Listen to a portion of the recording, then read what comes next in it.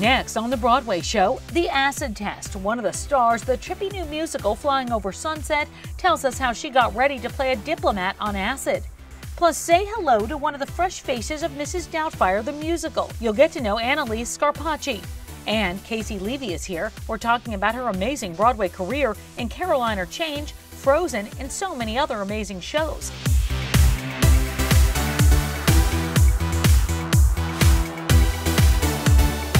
I'm Tamsen Fadal, and this is The Broadway Show.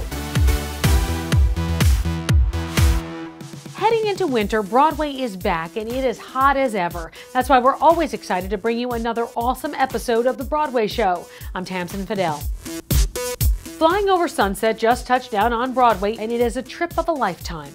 Flying Over Sunset is a work of fiction, but it's inspired by a trio of incredible historical figures, all coming together at a crossroads in their lives, and all dropping acid.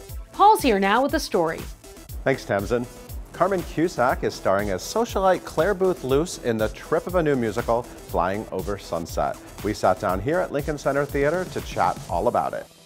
You are playing Clare Boothe Luce. All I know about this woman is the play The Women, and basically Right. it's, it was like the Sex in the City of its day. That's what I know about her. It was a big Yeah. Broadway hit. You know a lot more about her than I do. I, I hope so. I mean, I, I didn't know anything about her until I did this project, and I thought, why didn't I know about this woman? Why don't we all know more about Right. this woman? Because she really was like that woman, a proper trailblazer. She did everything. She was a journalist. She was a playwright. She was um, an ambassador. For Italy. She was an ambassador for Brazil, I think, for three days. And then she said, I don't want to do this anymore. But she just did everything. And, uh, you know, in the 1950s, when most women were at home cooking and, you know, nose in their Betty Crocker book or whatever, um, she was out just, you know, trailblazing it for all of us. My favorite thing about uh, playing her is, is her wit. And, and her just freedom to just say whatever she was thinking, and Yeah. her the strength that she had at that time, at that day and age. You know, when women were so, you know, very careful about what they said, but she, but she wasn't careful. But at the same time, she was incredibly smart, mm-hmm.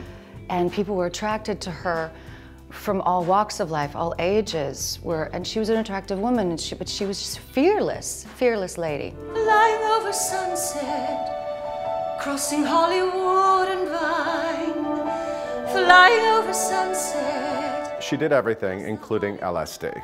Including And here we are. she had some very hard life lessons. She lost her mother and then six years later she lost her 19 year old daughter. I think she was trying to find her way past the grief or maybe trying to find it and then just move on or I just think she really wanted to s- search her soul and she felt that acid was going to help her do that So, Flying Over Sunset is a brand new musical. I'm assuming there's something probably very theatrical about LSD trips. And what about this story and this combination of stories lends itself to this form? Well, I love the fact that this is not sticking to a musical formula Yeah. in a sense. It's taking you on a trip. And uh, the only time we really ever sing is in is once we've taken acid. They always say that characters in musicals should sing when the emotions are so much that they can't speak anymore. But for this one, it's like when they're high enough. When they're high That's- enough that's to really express themselves in a different way, um, because they were all a bit tight, tightly wound. Yeah. And so they needed to, to take a drug to finally go, whoa, now I can sing. This is a title that people don't, they walk in, people don't know what Flying Over Sunset is, which is always really attractive to me as a theater goer. But a lot of people might be like, what the heck is this? What do you tell people? Well, this really came to me, I think, when we finally got, went through the whole show and did a run of it. By the end of it, I just thought, oh my God, it just felt like a warm embrace. And it, it just, it was just a reminder that we're, we're all in this together and you were gonna be, it's just, you're okay because we're all connected. Everything, everything, we're all connected. And no matter what we're going through, it's okay. Folks, we love Broadway, we love New York, we love the arts, and all three are back. Thank you, everybody. It is now officially official. Broadway is totally back. After 21 months, the Tony Award winning musical Dear Evan Hansen is the final show to reopen its doors. The musical returning just in time to mark its five year anniversary on Broadway. Jordan Fisher, who plays Evan, marked the comeback with a special curtain call and post show party.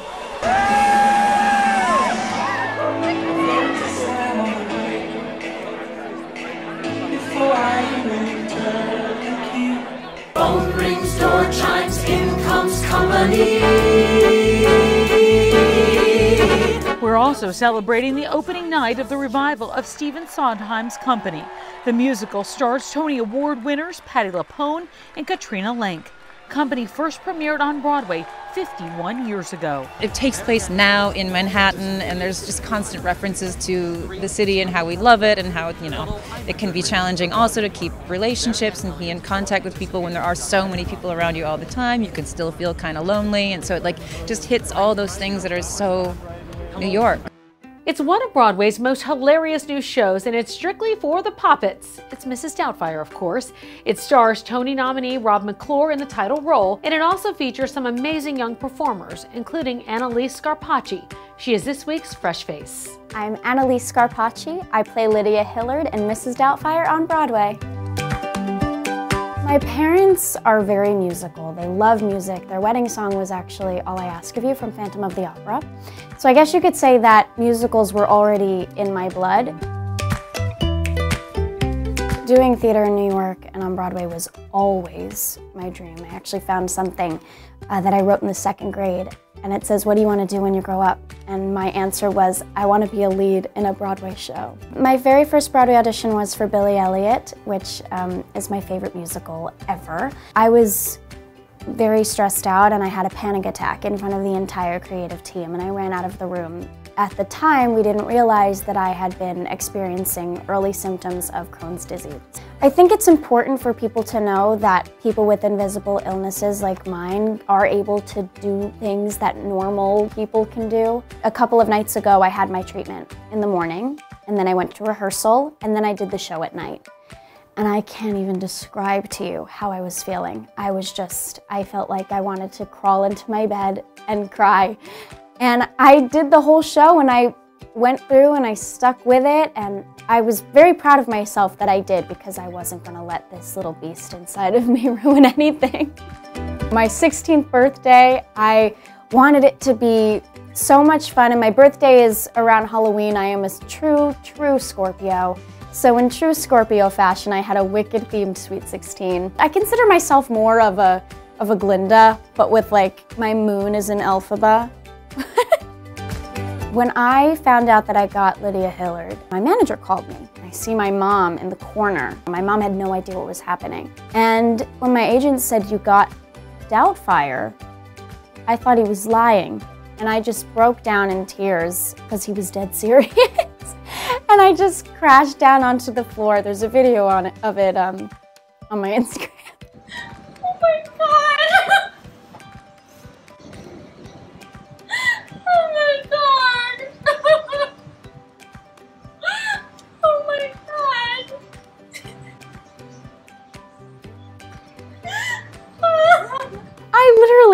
Was in hysterics and it was just like this whole release of energy that all of my hard work paid off. What is it? What is it? I have a feeling you already know. What is it? I don't.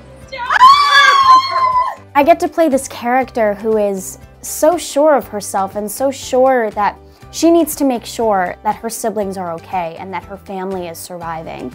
And she just wants her dad to tell the truth. But besides all the funny, it has all of this heart and it's all of this soul and it has an incredible, incredible message.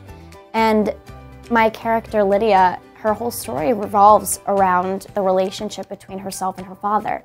So it's really great that I get to have this moment and I bring in my relationship with my own dad into the show too. And for me, my family is my whole world. And to be a part of a show that is about family and that is about love and that is about acceptance, it's just a great gift. And I'm so honored to be a part of it.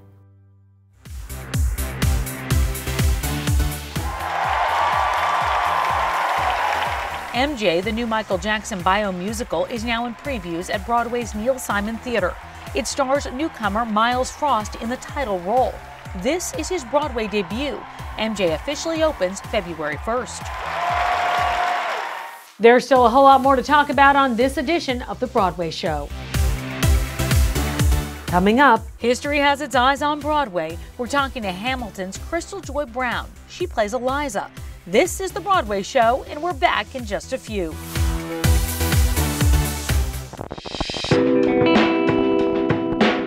Welcome back to The Broadway Show. I'm Tamsen Fadal. Let's get back to it. We just can't let it go. Broadway's original Elsa from Frozen, and so many amazing shows. Caissie Levy is here. Let's go ahead and check back in with Paul Wontorek. She believes in love and constantly shaking up the resume. Let's walk through the stage resume of Caissie Levy with Caissie Levy. Hey. How you doing? I'm great. How I'm are so you? happy to see you. Happy to see you too. This is the St. James Theater. You were the girl Mhm. who sang Let It Go every night and lived to tell about it. That's right. You were Elsa Mhm. in Frozen. You literally got into like full princess mode. Yes. I don't think you're naturally that girl. No, no, I'm not that girl really. I, I love a little hair and makeup moment, but I was not expecting to be like the Elsa with the crystals and you know all of the things. Um, and it was amazing. It was the most special thing ever. Plus, it's the first show I did as a mom. He's only ever known me as Elsa, and like he just thought this is what all, everybody does on Broadway: is they wear like a gorgeous gown, get it ripped off of them every night, belt really high, and have people stand up for them. So the Al Hirschfeld Theater. You did hair here. You were Sheila. Yes, I she was. believed in love. That really was kind of the first big thing that made people take notice of you on Broadway, don't you think? Yeah, that was my first time originating a role, even Yeah. though it was a revival, and it changed my life personally and professionally. And kind of beautiful hippie spirit. Yeah. Right? And you all really sort of jumped into that. Yeah, I feel like you know we were doing a lot of social action work off stage that felt like we were supporting what we were saying on stage, and it didn't feel convenient. It felt really heartfelt, and we also had a lot of fun. Imperial Theater. Look down, look up, look up. you were in Les Miserables. Yes, Fantine. Epic, epic role. Oh my God. You did it for a long time too. Uh, yeah, a year and change. Yeah, Um, that's a lot of dying. it is a lot of dying, Spoiler. and then a lot of barricading in Act Two. You don't just get to do the star yeah. turn. Yeah, yeah. They're like, no, no, you don't get to sit backstage and do a crossword. You have to go on stage and peel plastic potatoes. So I got into some trouble in that barricade. I had some fun. I was a little bit famous for hiding in the barricade. Our, our revival was um, very dimly lit. Yes. And so I would get into parts of the barricade and scare the hell out of some of the cast members quietly um, during scenes, because that's what being on Broadway is all about. Edit, edit. Um, no, this was amazing because Les Mis is the show that made me want to be an actor. Caissie, this is the Lunt-Fontanne Theater, named after two very famous actors. Yes. You were in Ghost, the musical, and I have to fanboy out a little bit. You know I love Ghost, the Musical. I do. I love that about you. Did you have a lot of like New Jersey moms crying at the stage door? Yeah. In addition to me? Yeah, yeah, yeah. You and New Jersey Moms. Yeah, yeah. It's it's that movie, you know. It just Oh, and so I good. mean, I threw pottery. I learned how to do that. it was the whole thing. You still do pottery? No, I have not done it since closing night at the Fontanne. Caissie, this is Wicked. Yes. Hey, you, Wicked. You played Elphaba Mhm. here on Broadway a little bit. I understudied it on Broadway. Did you go on? I went on. Okay. I think like five or seven times, something like that. Okay, okay. And then you Um, did it in out in LA. else. Yeah, yeah. You Yeah. did. You did an LA run. Yes. As Elphaba. Yes. I wish I saw you as Elphaba. How was your Elphaba? Was it fun? I think it was fun. um, I was really young and really green. um, and it was amazing and scary. And on the days that you felt good, you felt invincible in that role. Like it's so, there's very few roles like Elphaba, Uh-huh. you know, and I still think about those good nights and think, wow, I would love to do that again. The Neil Simon Theater, you actually made your Broadway debut here. We finally arrived where it all started. Yes. That stage door, you walked in there and I did. look at you now. Yeah, it's pretty wild. What, do you, what was that girl like? Oh my gosh, that girl was overwhelmed, excited, grateful, um, and like living in Dorkland as Penny Pingleton, just like living my best dork dreams, you know? Caissie, we have arrived at Studio 54. Did you bring your dancing shoes? Oh yeah. I don't dance in this show. you don't dance in this show. no, but we do love the history of the building for sure. Yes. Yeah. Caroline or Change. What's it been like for you to sort of, you were working on the show before the pandemic, before the shutdown, Yeah. you're revisiting it. What, what's it been like sort of getting back on the stage? It's been um, amazingly rewarding and a little bit scary and um, really gratifying. Uh, it's a dense show and it's a show that intimidates the audience sometimes and the actors sometimes. So I Mm. think a lot of us, first time around, were nervous to tackle the material. And then, of course, the events of 2020 and everything we've been through collectively as a country and the world, um, the show is now resonating deeper um, and differently. I feel really lucky to play such a great role coming off of Elsa and then transitioning to Rose. Yes. two wildly different parts, Yes. and um, it's really exciting to show off a little comedy again, which I haven't done since Hairspray, um, and and still get some drama and get some some real heavy stuff to play.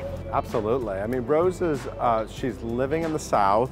She's sort of been brought there um, by her husband, and she's dealing with Caroline as the housekeeper, and the relationships are just so tense. Everything's very loaded, yeah. Yeah. Her stepson is not interested in having a relationship with Right. her, and Rose just tries too hard and says the wrong thing a lot of the time. And she has good intentions, but you know, as we've learned again this year, good intentions aren't enough. So she goes on a really cool, intense journey in the show. I love seeing all the things you can do. I think it's just so much fun to watch. Every time you're back in a new show, you show a different uh, side of yourself. What's it been like for you to sort of relive all this in, the, in this little walk we just took, walk through your career? It's kind of crazy. I feel, I almost feel like different parts of myself have been left Sure. in each of those blocks. You know, um, I feel like it's it's cool to be able to pause amidst a really awesome experience and also look back and celebrate what came before. And I look forward to you know hopefully playing many more of the theaters in this neighborhood uh, in future years. This is the Broadway show, and we're back in just a few.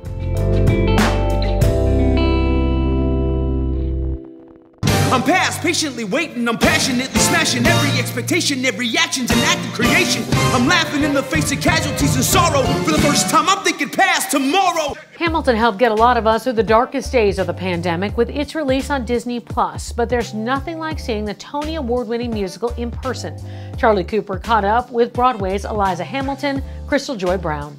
Just months before COVID 19 shut down Broadway, Krystal Joy Brown stepped into the role of Eliza in Hamilton. This September, she'll return to the revolutionary show, and I got a chance to chat with her. So, Krystal, first and foremost, talk to me about playing Eliza and like how excited you are to get back on that stage. Well, I really fell in love with Eliza being able to play her because she was just everything that I think that uh, us women are strong, vulnerable, um, the caretakers, but also leading her own legacy. Um, and to play her is a true honor because I get to see the audience at the end of the show, and people have been through so much.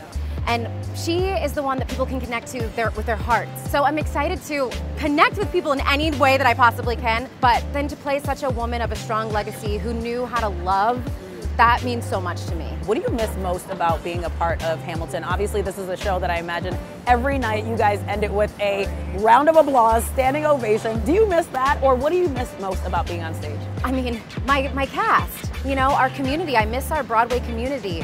Um, I miss even just walking up here and seeing this incredible marquee and being so proud. Talk to us about like being able to see the marquee and being like literally here. I mean, it's a re- there's a date. There is a date on the marquee. I remember when it was just nothing, and then I remember when it was coming soon or 2021, and now it is actually September 14th, which feels very real. This is the moment that makes it feel real to me because I haven't been in the theater in a year. I, I can't wait to get in there and just smell the theater again, stand on that stage, figure out how to walk on a turntable again. Um, but yeah, it's a very special moment. I miss like I miss our audiences and our collective collaborative spirit together as we walk in. Um, but mostly I miss that big roar when you hear Alexander Hamilton and it's like raw, like it's like a rock concert. Yeah. So that adrenaline and that love and connectivity is something that I miss and I'm excited to to be back in the rooms where it happens back on Broadway. Of course, everybody's excited with their shows coming back, but talk about the importance of Hamilton in particular coming back after such a heavy year for so many people. Talk to me about the importance of such a powerful show coming back on stage. Well, what I think Hamilton has done has always shown representation and what this country actually looks like. You see every single representation of every shade, every color, body size. We have all of it in this company, and we are always looking to be inclusive and, and spread the narrative of what the arts can be and who we have is everyone and everyone seeing themselves. So it's a big deal how we're coming and restructuring Broadway and what we're bringing. And I think a lot of shows are getting excited about how we plan to return and are taking notes and we can continue to spread this representation across the land.